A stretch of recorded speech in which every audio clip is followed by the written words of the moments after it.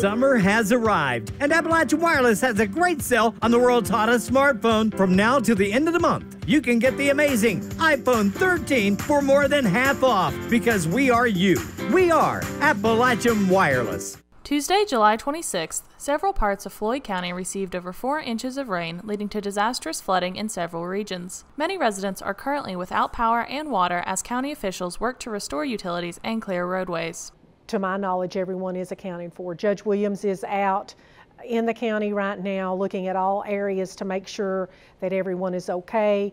Our deputy judge has been delivering cleaning supplies to that area and wherever needed because our Floyd County Community Center is also an area where people can pick up supplies. But because of the devastation in the area and people not being able to get out, Judge Williams wanted us to be able to take supplies to them. So our uh, Deputy Judge Spurlock has been taking supplies to that area to help those folks. Red Cross is at the scene of the flooding and are currently assessing the area to see what support they can offer to the residents affected by the flooding.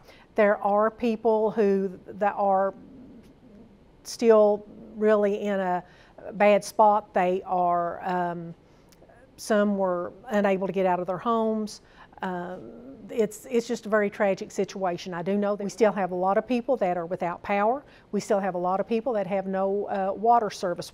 They're working on getting that restored. So it's going to take a couple of days. We just ask that people be patient, give us time to get out, get everything assessed. Uh, Judge Williams has declared this in a, uh, doing an emergency proclamation, so that will go to the governor and we will see where we go from there. If you have been affected by the flooding and need assistance, contact the Floyd County Courthouse at 606 886 9193. For Mountaintop News, I'm Brianna Robinson.